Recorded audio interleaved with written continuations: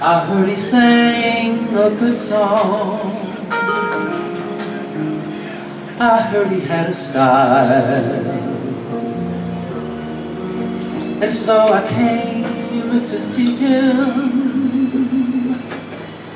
to listen for a while.